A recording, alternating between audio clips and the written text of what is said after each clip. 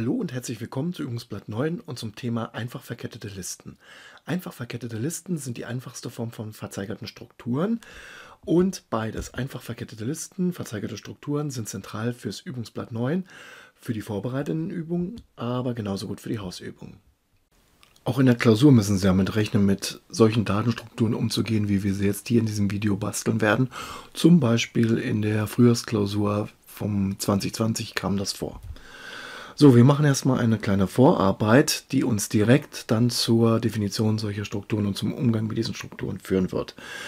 Eine eigene Listling-Klasse bauen bedeutet zunächst einmal ein Element eine Klasse für Elemente dieser List-Klasse zu bauen. Ja, eigentlich sind ja die Elemente einer, einer Liste die Schlüsselwerte, die wir daran speichern wollen, aber wir brauchen ein bisschen mehr Struktur als nur den Schlüsselwert, denn wir müssen ja irgendwie dafür sorgen, dass die einzelnen Elemente miteinander verbunden sind. Und das sehen Sie hier in dieser Klasse namens ListItem, ein nicht ganz untypischer Name für solche Klassen ist generisch, denn so wie wir das ja in, auch im, bei den Collections in der Java-Bibliothek gesehen haben, so wollen wir auch unsere eigene Linklist-Klasse generisch halten. Der Schlüsselwerttyp soll generisch sein.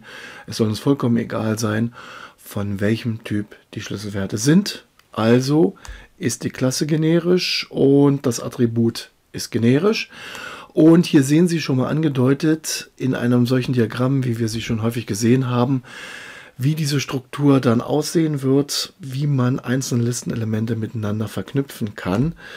Also von einem Start her, der traditionell Head heißt, Kopf der Liste, der verweist auf das erste Element, verweist auf das zweite Element und so weiter und so fort. Und Sie sehen schon, einerseits die eigentlich wichtige Information, der Schlüsselwert ist in jedem solchen Listenelement gespeichert und noch zusätzlich ein Attribut, das von einem Listenelement dann jeweils auf das nächste verweist. Also von Head auf das erste, vom ersten auf das zweite und so weiter. Und dementsprechend muss dieses zweite Attribut natürlich vom selben Typ wie die Klasse selber sein. Das ist ja kein Problem, weil das ja immer nur Referenzen sind. Ein Objekt von Typ ListItem T kann natürlich kein Objekt von Typ ListItem von T enthalten, weil das müsste dann wieder ein Objekt von ListItem T enthalten, das wieder und das wieder, das geht nicht aber ein Objekt von Klasse ListItem von T enthält eben mit Next nur eine Referenz auf ein anderes Objekt und das funktioniert natürlich. So, und hier sehen Sie dann, wie das Bild oben zustande gekommen ist. Wir haben einfach die beiden Objekte da eingerichtet.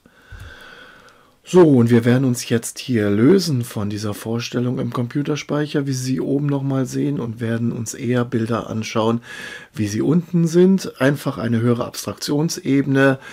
Es interessiert uns nicht mehr, dass diese einzelnen Objekte irgendwo im Speicher an irgendwelchen Adressen abgespeichert sind, sondern wir nehmen sie einfach als Spielmaterial sozusagen her, ganz losgelöst davon. Und wenn wir uns dieses Bild dann hernehmen als Basis, dann können wir dieses Bild natürlich auch beliebig erweitern, ohne dass das ganze Bild wie im Computerspeicher zu kompliziert aussehen würde, sondern schön einfach können wir uns das strukturiert denken von links nach rechts so eine Liste. Beginnt wieder mit einem Verweis auf den Kopf, also auf das erste Element und jedes einzelne Element verweist dann jeweils auf das nächste und das allerletzte Element verweist dann auf nahe symbolisches Wert null, um anzudeuten, dass da kein weiteres Element mehr kommen wird. Und Sie sehen, die Listenklasse ist im Prinzip ganz einfach strukturiert. Alles, was sie intern enthalten muss als Mindestes, ist eben dieser Kopf, dieser Verweis auf das erste Element der Liste, beziehungsweise hat den Wert null, wenn die Liste kein Element hat. Und alles weitere, was wir jetzt betrachten werden, spielt sich dann im Inneren dieser Liste ab, im Private-Bereich, rund um dieses Attribut Head. Natürlich muss dann das dann entsprechend korrespondieren zu Methoden im Public-Bereich wie addieren, entfernen, suchen und so weiter.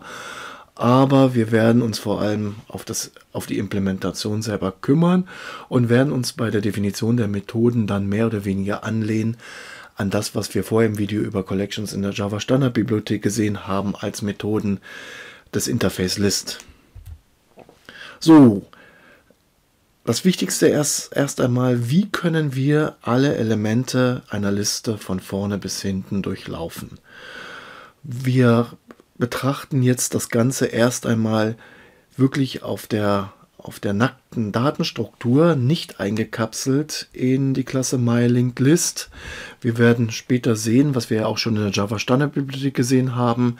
Das macht man mit Iteratoren und wir werden diese Iterator-Klasse und auch die, die Methode Iterator, die von einer Linked List dann ein entsprechendes Objekt der zugehörigen Iterator-Klasse zurückliefert. Das äh, wollen wir alles dann später noch selber implementieren. Aber erstmal schauen wir uns das Ganze auf der reinen nackten Datenstruktur selber an und schauen dann so nach und nach, was das dann eingekapselt in der Klasse MyLinkedList bedeutet. So, um durch alle Elemente der Liste durchzulaufen, müssen wir erst einmal mit dem ersten Element beginnen. Wir richten einen Laufpointer ein, Laufzeiger, so wollen wir das jetzt nennen. Und die Idee ist, dass die Listenstruktur natürlich völlig unverändert bleibt, dass auch Head weiterhin, wie der Name schon sagt, auf das erste Element verweist, aber P durchläuft jetzt alle Elemente nacheinander und am Anfang setzen wir P gleich Head, dann verweist P eben auf das erste Element. Wie geht jetzt P von einem Element zum nächsten Element weiter? Das sehen Sie hier oben angedeutet grafisch und unten sehen Sie den entsprechenden, die entsprechende Anweisung. Solange P auf dem ersten Element stand, war, stand, war, stand hier unten in p.next die Adresse des zweiten Elements. Wenn ich also P auf das zweite Element zeigen lassen will, wenn ich also in P nicht mehr die Adresse des ersten Elements, sondern die Adresse des zweiten Elements haben will, dann muss ich gucken, okay, in dem Moment, wo P noch auf die äh, Adresse äh, noch die Adresse des ersten Elementes enthielt, ist p.nect wie, wie gesagt zweit, äh, zweites Element und dann muss ich P ein, in P einfach die Adresse des zweiten Elements speichern und dann zeigt P, so wie Sie das oben schematisch angedeutet sehen, tatsächlich nicht mehr auf das erste, sondern auf das zweite Element. Und das Ganze funktioniert natürlich nach derselben Logik nicht nur am Anfang der Liste vom ersten zum zweiten, sondern von irgendeinem Element zu dem jeweils nächsten. Die Logik ist dieselbe. Solange P auf ein Element verweist, steht in p.next die Adresse des nächsten Elements. Das heißt, wenn wir p auf das nächste Element verweisen lassen wollen, dann müssen wir den Inhalt von p eben mit dem, was jetzt noch p.next ist, überschreiben. Nachdem das geschehen ist, ist p.next natürlich was anderes.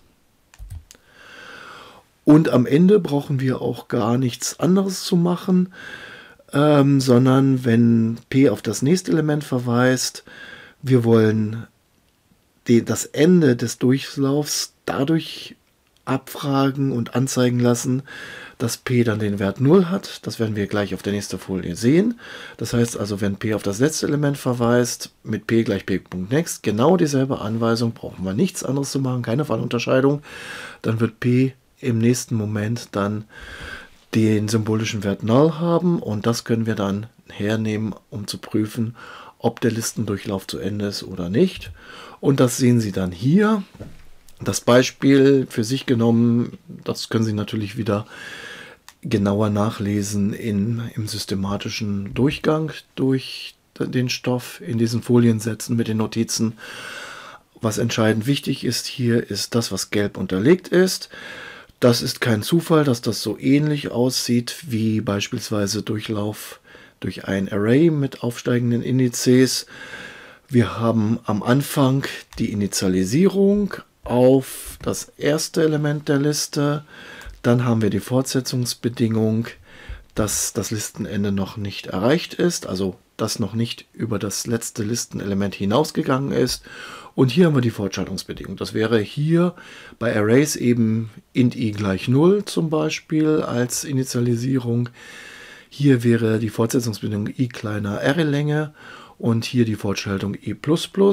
Sie sehen hier wieder ein Beispiel dafür, wie mächtig die Vorschleife in Sprachen wie Java ist, dass es eben nicht eine reine Zählschleife ist, wie durchaus in vielen anderen Programmiersprachen, wo man für solche Konstrukte eben nur die Weilschleife hätte, sondern Vorschleife ist generell eine Abkürzung für bestimmte Situationen, wo man eigentlich auch eine While-Schleife nehmen könnte, nämlich genau diese Situation, eine Initialisierung, eine Fortsetzungsbedingung und sowas wie eine Fortschaltung. Und das sehen Sie auch gleich bei unserer nächsten Methode, Contains. Diese Methode kennen Sie aus dem Video über Collections in der Java-Bibliothek. Und Sie sehen, die gelb unterlegte Zeile ist exakt dieselbe wie eben. Nur bei Contains müssen wir ja im Allgemeinen nicht unbedingt die gesamte Liste durchlaufen, sondern nur so weit, bis wir das Element, was wir suchen, gefunden haben. Also wir werden jetzt hier nicht alles mit ähm, Exceptions und so weiter, so wie wir das im Video zur, zur Collection Java Standard Bibliothek gesehen haben, betrachten. Das werden wir alles außen vor lassen sondern uns auf den Kern konzentrieren und dann sehen Sie, der Unterschied ist der, dass wir nicht mit jedem Element wie eben beim Durchlauf alles machen, sondern, äh, sondern dass wir abprüfen, ob das Element, auf, dem gerade, auf das gerade P verweist, ob der Schlüsselwert da drin tatsächlich der gesuchte ist. Und wenn er gesuchte ist, dann wissen wir, das gesuchte Element ist eben in der Liste drin. Also können wir an dieser Stelle abbrechen und true zurückliefern. Wir brauchen dann die Liste nicht mehr weiter zu durchsuchen. Wenn hingegen die ganze Liste durchlaufen ist, ohne dass irgendwann mal hier equals true ergeben hat, dann heißt das, die, Liste, die Liste ist ganz durchlaufen, p ist gleich 0. Das heißt also, das gesuchte Element ist gar nicht in der Liste drin und dann ist es korrekt, false zurückzuliefern. So, damit haben wir eigentlich die beiden wesentlichen Punkte gesehen, wie man durch eine Liste durchlaufen kann, ohne diese Liste zu verändern. Entweder ganz durchlaufen, wie eben bei Process All, oder jetzt wie bei Contains durchlaufen bis zu einem Element und mit dem dann irgendwas machen. Jetzt kommen wir zu modifizierenden Operationen, zum Einfügen eines Elements und dann auch zum Entfernen eines Elements. Wir werden nur diese beiden betrachten. Alles andere an modifizierenden Operationen auf einer Liste sollte sich dann daraus leicht ableiten lassen, wie man sowas zu implementieren hätte. So, neues Element einfügen. Da schauen wir uns an, wie das erst einmal, wie das am Anfang der Liste aussieht, wie man am Anfang der Liste ein neues Element einfügt, das dann das neue erste Element ist. Ja, es ist immer sinnvoll, sich erstmal einen einfachen Fall vorzunehmen und wir werden auch sehen, dass es hier tatsächlich eine Fallunterscheidung sinnvoll ist, ob das einzufügende Element am Anfang oder irgendwo anders einzufügen ist. So, also wir schauen uns erst einmal an, wie sieht das aus. Wir wollen ganz vorne an der Liste ein neues Element einfügen, das dann eben das neue erste Element ist.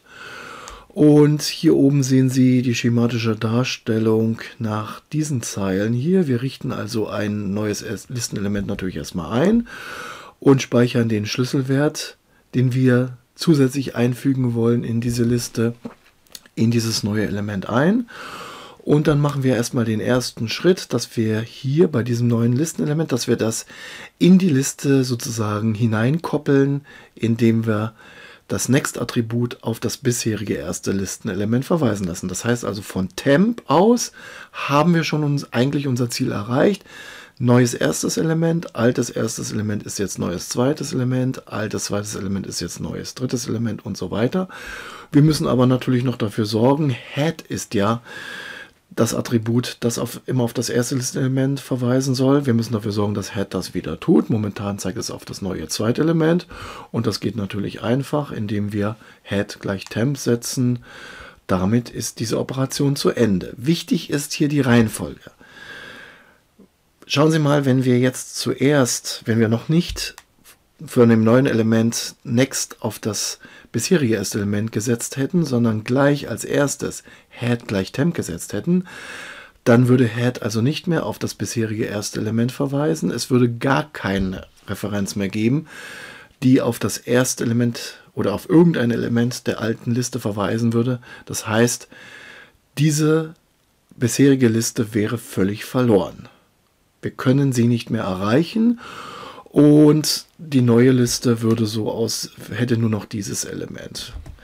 Das ist natürlich nicht das, was wir wollen, deshalb müssen wir die Reihenfolge so einhalten, wie wir sie eben gesehen haben. Nicht zuerst head gleich dem setzen, sondern erst hier von dem neuen Element next auf das bisherige erste Element setzen. So, jetzt haben wir gesehen, wie das Ganze aussieht am Anfang der Liste. Es ist ein bisschen komplizierter, wenn wir ein Element an irgendeiner anderen Position in der Liste einfügen wollen. Erstmal müssen wir natürlich zu dieser Perso Position hin, das werden wir uns gleich ansehen. Aber wenn wir an dieser Position angekommen sind, dann müssen wir an, die, äh, an dieser Stelle das neue Element hineinkoppeln in die Liste, wenn man so will. Und was Sie hier sehen ist, wir wollen hier genau zwischen diesen beiden Listenelementen wollen wir dieses Element einfügen. Was wir zunächst mal machen, ist natürlich erstmal wieder wie eben überhaupt ein neues Listenelement einrichten und den Schlüsselwert entsprechend reinschreiben, sodass dieses neue Listenelement da ist und fertig ist zum Einkoppeln. Und der erste Schritt ist wieder der, dass vom neuen Listenelement next verweist auf das Element, das unmittelbar danach dann folgen soll in der neuen Reihenfolge. Und dann können wir das Next von diesem, äh, von diesem Objekt eben auf das neue Element verweisen lassen, sodass Sie, wenn Sie das in Gedanken durchgehen, hier, dass Sie dann, wenn Sie bei diesem Element ankommen, wenn Sie durch die Liste durchgehen, bei diesem Element ankommen, dann ist als nächstes dieses Element dran, dann wieder dieses Element dran und so weiter und so fort. Das heißt also, wir haben tatsächlich geschafft, dieses neue Element damit in die Liste einzukoppeln. Auch hier wieder aufpassen, dass man die Reihenfolge an, einhält. Nicht zuerst von dem vorhergehenden Element hier auf das neue Element verweisen, denn dann ist wieder die Restliste, alles was danach kommt, verloren.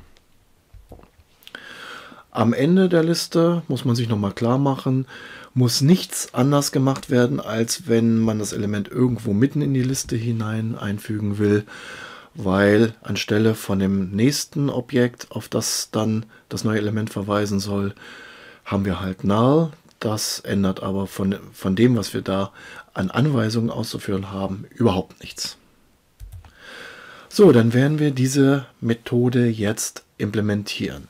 Wir werden im Prinzip die Methode add also implementieren, wie wir sie schon für Listen im Video zu Listen, also zu Collections in der Java Standardbibliothek gesehen haben.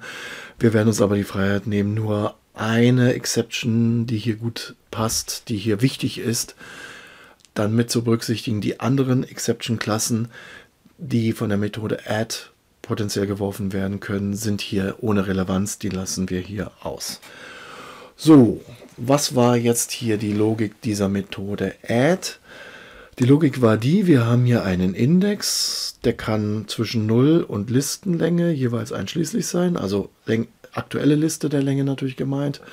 Und an dieser Position wollen wir das neue Element einfügen und falls die Position nicht in diesem Bereich ist, dann soll eine entsprechende Exception geworfen werden.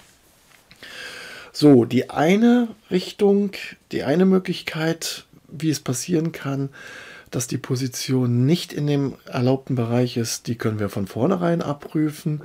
Nämlich, das ist eben der Fall, dass die Position kleiner 0 ist. 0 heißt ja, zur Erinnerung, einfügen vor dem ersten bisherigen Element, 1 dann vor dem bisherigen zweiten Element, 2 dann vor dem bisherigen dritten Element und so weiter und so fort ob auch äh, auf der anderen Seite die Position valide ist, also nicht größer als die Listenlänge ist, könnte man vorher abprüfen, falls man zusätzlich in der Listenklasse noch die Größe immer als weiteres Attribut mitspeichert. Wir haben uns jetzt hier dafür entschieden, dass, dass die Listenklasse nicht die Größe der Liste, die Anzahl der Elemente, die aktuell gespeichert sind, als weiteres Attribut mitspeichert.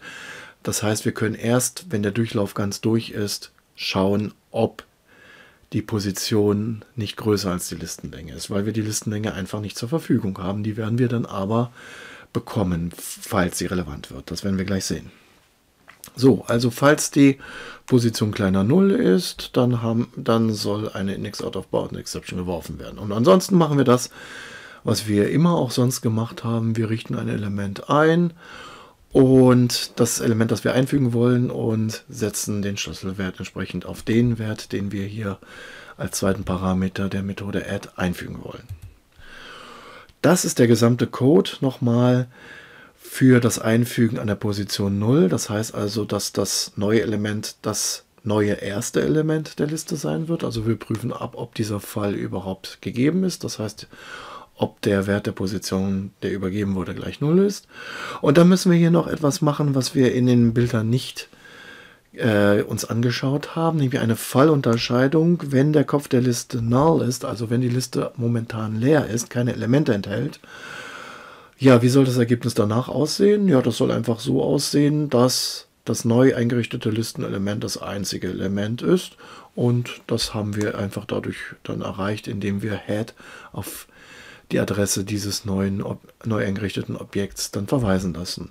Und ansonsten passiert das, was wir im Bild gesehen haben, denn das Bild zum Einfügen am Anfang einer Liste war, ja, das habe ich Ihnen da vor ein paar Folien untergeschoben, ohne es, es Ihnen mitzuteilen, war ja von der Annahme ausgegangen, dass es tatsächlich mindestens ein Element in der Liste momentan gibt. Und dann haben wir schon gesehen, wie der Code dann aussieht. Und wenn wir das alles gemacht haben, dann sind wir auch fertig. Wir haben das Element an der richtigen Position eingefügt und können mit Return die Methode add ähm, beenden. Ich habe jetzt vergessen noch zu sagen, wir nehmen uns hier auch die Freiheit, die Methode add einfach als Void-Methode zu definieren. Einfach nur, um den ganzen Code schlank zu halten und nur und uns auf das Wesentliche hier zu konzentrieren. Es sollte eine leichte Übung für Sie sein, entsprechend den Code der Methode add zu erweitern. Das ist jetzt der Code, um erstmal an die richtige Stelle, an die richtige Position zu kommen zum Einfügen des neuen Listenelementes und dann dort tatsächlich das neue Listenelement auch einzufügen. Und Sie sehen, das ist auch der gesamte Code nicht nur dafür, sondern auch dafür, dass in dem Falle, dass die Position größer als die Listenlänge ist, dann tatsächlich wieder die Index Out of Bound Exception geworfen wird. So, gehen wir das mal durch. Sie kennen dieses Bild hier oben ja schon. Das ist genau dieselbe Vorschleife wie bisher auch, mit der wir eigentlich durch die gesamte Liste durchgehen. Und jetzt müssen wir aber bis zu dieser Position nur gehen und da wenden wir einen kleinen Trick an, der immer mal wieder bei solchen Durchläufen bis, äh, ganz sinnvoll ist, wo wir durch irgendeine Datenstruktur, ein Array oder eine Liste oder sonst was durchlaufen bis zu einer bestimmten Position, indem wir einfach beim Durchlauf, bei jedem Schritt des Durchlaufs, diese Position um 1 dekrementieren. Und wenn dann die Position 0 ist, wir müssen jetzt genau schauen, bis wie jetzt hier die Bedingung in der if-Verzweigung ist, ob das jetzt äh, korrekt ist mit Position gleich 0 oder mit Position gleich 1 oder mit Position gleich minus 1, irgendwas in der Form. Wenn die Position dann runtergezählt ist, dann soll einfach das Element eingefügt werden, wie wir das schon gesehen haben auf der Folie und wieder mit Return dann die Methode verlassen werden. Also müssen wir uns ganz genau kurz überlegen, ob jetzt Position gleich 0 die richtige Abfrage ist. Also nehmen wir mal an, die Position, mit der wir reingehen, wäre 1. Dann würde also ein Schritt notwendig sein und genau das passiert auch. Es, äh, es passiert ja ein Schritt, mit dem wir hier äh, nein, Entschuldigung, das ist natürlich genau falsch. Wenn die Position 1 wäre, müsste genau 0 Schritte notwendig sein. Und genau das passiert hier. Es gehen 0 Schritte vorwärts mit p gleich p.next. Also ist das richtig mit post gleich 0 hier ähm, die, äh, die, die Schleife äh, zu beenden. So, damit sind wir mit dem Einfügen auch schon durch. Jetzt müssen wir nur noch das Element entfernen und dann haben wir alles Wesentliche in unserer eigenen Linklist-Klasse gebaut und brauchen dann nur noch den, uns um den Iterator zu kümmern. So, das Entfernen eines Elementes ist eigentlich sogar noch einfacher als das Einfügen. Hier sehen Sie wieder das Entfernen am Anfang der Liste. Hier sehen Sie unten, es bedarf nur dieser einzelnen Anweisung hier, um das erste Element aus der Liste auszukoppeln. Dann ist das erste Element nicht mehr drin, sondern übersprungen. Ja, danach sehen Sie, Head verweist auf dieses Element, das bisherige zweite, bisherige dritte und so weiter und so fort. Alle Elemente, abgesehen von dem allerersten, sind noch in der Liste drin. Gut, auch hier irgendwo mittendrin in der, äh, in der Liste ein Element zu entfernen, ist wieder entsprechend einfach. Hier sehen Sie die Anweisung, die dafür notwendig ist. Wichtig ist aber, dass das P nicht bis zu dem Element laufen darf, das aus der Liste entfernt werden soll, sondern es muss eine Stelle vorher an dem Listenelement unmittelbar vor stehen bleiben. Dort muss der Durchlauf durch die Liste stehen bleiben. Das heißt, entsprechend müssen wir die Vorschleife etwas modifizieren, wie wir gleich sehen werden. Und dann können wir, wenn P auf diesem Element davor steht, dann können wir einfach den Next-Verweis umbiegen auf das übernächste Element und dann ist genauso wie eben am Anfang der Liste, jetzt mitten in der Liste, dieses Element ausgekoppelt und nicht mehr drin. Ja, wir gehen durch die Liste durch, tap, tap, tap, tap. Dieses Element, dann dieses Element und dann gehen wir weiter durch die Liste durch. Dieses berühren wir nicht mehr. Und genauso wie beim Einfügen ist es auch beim Entfernen so, dass wir für die Eliminierung des letzten Elementes keinen eigenen Sonderfall brauchen, sondern auch wenn jetzt hier kein Element mehr steht, sondern der symbolische Wert null, funktioniert das immer noch. Dann verweist eben das bisherige vorletzte Element auf null. Und das ist ja genau das, was wir wollen, dass das bisherige vorletzte Element eben das nunmehr letzte Element in der Liste ist. Auch hier wieder die Implementation. Wir nennen das Ganze Remove und ähm, betrachten vor allem die innere Logik hier.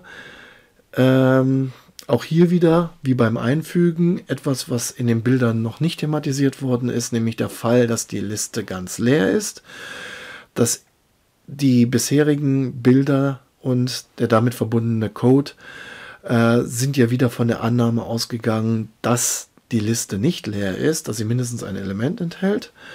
Wir müssen aber bevor wir das erste Element prüfen, ob es das gesuchte ist, natürlich den Fall abfangen, dass es das erste Element gar nicht erst gibt. Sonst gibt es eine Null Pointer Exception, die wollen wir nicht haben. Also prüfen wir das nach und in dem Fall wissen wir, dass das Element, das wir entfernen wollten, gar nicht drin ist. Also können wir False zurückliefern. Also diese Methode Remove ist auch ein bisschen einfacher als in der Java Standard Bibliothek für Interface List definiert die liefert einfach True oder False zurück, je nachdem, ob das Element einmal gefunden und dann einmal entfernt worden ist. Also ich betone deshalb, deshalb mit ein, einmal gefunden, weil ja ein Element mehrfach vorkommen kann, mehrere Duplikate und Remove soll nur eins dieser vorkommen, dann entfernen nicht alle. Also wenn wir, wenn die Liste leer ist, dann ist das Ergebnis natürlich false, weil wir das Element auf keinen Fall gefunden haben können. Wir suchen ja gar nicht erst. Wo sollen wir auch suchen? Ansonsten, wenn schon das erste Element das gesuchte ist, dann machen wir genau das, was wir dann schon auf der Folie äh, für den Fall, dass wir das S-Element eliminieren wollen, gesehen haben und können dann True zurückliefern. Denn wir müssen ja nichts mehr weiter tun. Wir haben ein Vorkommen dieses Elements entfernt. Wir sind also fertig und liefern True zurück, weil wir eben nun mal angeben damit, dass wir ein Element entfernt haben. So, jetzt gehen wir wieder durch die Liste durch, um zu der Stelle zu kommen, zu der ersten Stelle, an der dieses Element gespeichert ist oder fest, um festzustellen, dass das Element nicht vorkommt in der Liste. Und hier, was Sie jetzt gelb unterlegt sehen, ist jetzt der Punkt, auf den ich eben hingewiesen habe. Die, die Suche, die Vorschleife darf nicht bis zu dem Element gehen, das entfernt werden soll, sondern muss ein Element vorher stehen bleiben. Das heißt also zunächst mal, wir prüfen, müssen hier nachprüfen, ob nicht von P der Key der ist, der gesucht ist, sondern von p.next müssen wir das prüfen. Und wenn das der Fall ist, dann müssen wir eben entsprechend hier p.next äh, gleich p.next.next setzen, wie wir das gesehen haben. Und bei der Vorschleife müssen wir auch dafür sorgen, dass immer ne, nicht der nicht p ungleich 0 abgeprüft wird, sondern p.next ungleich 0. Das bedeutet ja nichts anderes, als dass wir noch ein nächstes Element von p ausgesehen haben, das als Kandidat zum Entfernen aus der Liste in Frage kommt. Und wenn p.next gleich 0 ist, dann steht, das, äh, dann steht p auf dem letzten Element, hat also kein weiteres Element danach, das noch in Frage kommen könnte zum Entfernen. Also deshalb zu entfernen, weil eben das gesuchte, der gesuchte Schlüsselwert da drin ist. Damit sind wir auch mit dem Entfernen aus der Liste durch. Was noch verbleibt, ist die Iterator-Klasse. Die ist relativ kurz. Das ist nicht ungewöhnlich, dass die Iterator-Klassen, die man zu solchen Datenstrukturen baut, eher kurz sind. Hier ist es auch so. MyLinkList ist unsere Listenklasse. Da nennen wir die, sinnvollerweise die Iterator-Klasse dazu MyLinkListIterator. Implementiert das Interface Iterator, natürlich auch wieder generisch und speichert innen drin einfach das, was wir eben explizit behandelt haben, nämlich so einen Laufpointer P, der genau das machen soll, was wir jetzt bisher gesehen haben. Und der Konstruktor, der soll dann das, äh, der soll dann P initialisieren auf das erste Element der Liste, beziehungsweise wenn die Liste leer ist, würde dann in P jetzt so wie in Head null stehen dann sind die beiden Methoden hasNext und Next auch sehr einfach. Ja, dadurch, dass wir P innerhalb vom Iterator auf das erste Element gesetzt haben, verweist also P auf das erste noch nicht zurückgelieferte Objekt, auf, den ersten, auf das Objekt mit dem ersten noch nicht zurückgelieferten Schlüssel, um genau zu sein. Und das wollen wir beibehalten, dass P immer auf das erste noch nicht zurückgelieferte Objekt verweist. Und wenn, das der, wenn wir das beibehalten, dann ist es ganz einfach mit hasNext abzuprüfen, ob es noch eines gibt, nämlich wenn p auf kein Element mehr verweist, dann gibt, dann, dann gibt es kein erstes äh, nicht mehr äh, zurück, äh, noch zurückzulieferndes Element und damit können wir dann hasNext einfach implementieren. Genauso können wir implementieren, dass der Schlüsselwort mit Next zurückgeliefert wird. Hier haben wir aber eine Feinheit. Wenn wir sagen, dass P immer auf das erste noch nicht zurückgelieferte Element verweist, dann müssen wir also dafür sorgen, dass P einen Schritt weiter geht. Aber dann verweist ja P nicht mehr auf das Element, dessen Schlüsselwert wir zurückliefern wollen. Das heißt, wir müssen diesen Schlüsselwert kurz zwischenspeichern und dann noch mit äh, am Ende zurückliefern. Und so sieht dann die Methode Iterator unserer Klasse MyLinkedList wiederum aus.